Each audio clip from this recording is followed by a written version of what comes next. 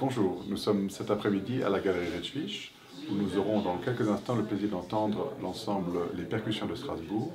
qui interpréteront une pièce euh, connue de 1973 qui s'appelle Music for Pieces of Wood